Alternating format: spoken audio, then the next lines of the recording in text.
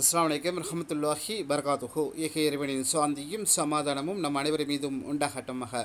கொய் தமிழ் ஓட்டுன சேமியும் அன்பார்ந்த YouTube Facebook WhatsApp இணையதளங்கள் உள்ள என் தமிழ் உறவுகள் அனைவரும் எப்படி இருக்கிறீங்க? அனைவரும் நலமாக உள்ளீர்களா?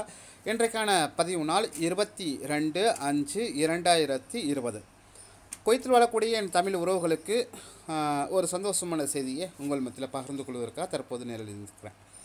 அதாவது இந்த வருடம் எல்லாமுள்ள இறைவன் அருளால் முப்பது நோன்புகளையும் முழுமையாக பிடிக்கிறதுக்கான எல்லாமுள்ள இறைவன் முஸ்லீம் சமுதாயத்திற்கு மத்தியில் ஏற்பாடு செய்யப்பட்டுள்ளான் என்பதுதான் சொல்ல வேண்டும்.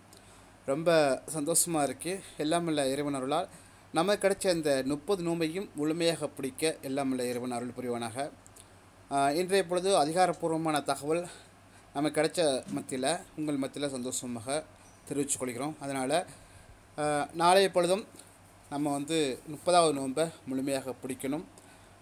அனைத்து உறவுகளும் இன்ஷா முப்பதாவது நோன்பையும் முழுமையாக பிடிப்பீங்க எதிர்பார்ப்போடு அந்த பதிவுகளை போடுறேன். நாளை மறுடி தினம் நம்ம எல்லோருக்கும் பெருநாள் அனைவருக்கும் பெருநாள் தின நல்வாழ்த்துக்களை தெரிவித்துக் கொள்கின்றேன். அதாவது புதாடை கூட உடுத்துறதுக்கான வழி கூட இல்லாத சூழ்நிலையில் தொழுகை கூட போக முடியாத சூழ்நிலையில் பல என் தமிழ் உறவுகள் தவிச்சு கொண்டிருப்பீங்க.